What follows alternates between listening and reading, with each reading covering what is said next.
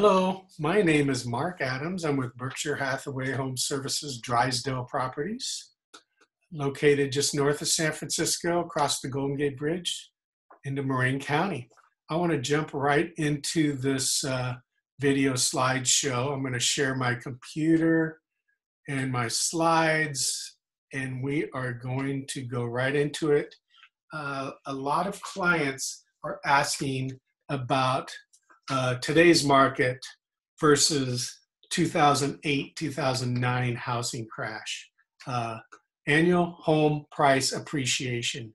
This is the six years leading up to the 2008 crash. You can see home values just skyrocketed. Now, today's market, the six years leading up to uh, the 2020. Um, in fact, 2017, the highest year of appreciation, doesn't even um, equal to the lowest year of appreciation leading up to the crash. Just keep these things in mind as we move along. Mortgage Credit Availability Index.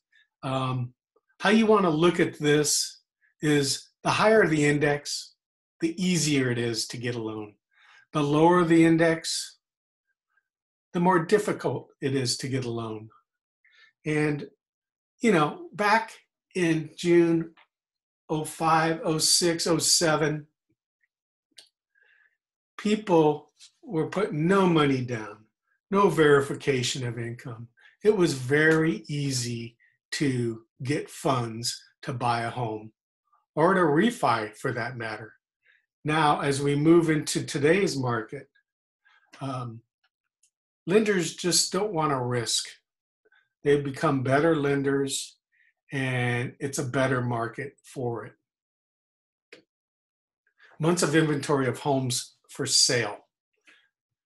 Back in 2007, 8, 9, it was a big time buyer's market.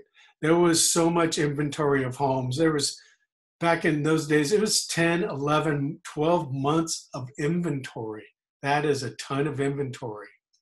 Now, moving into today's market, one of the biggest issues we're facing in today's market is the lack of inventories for for the uh, amount of people that want to buy them. It's a very different market now.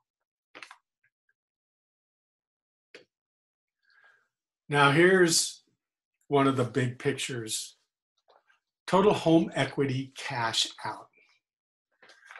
Okay, leading up to uh, the crash of 2008, 824 billion, that's the B, big billion.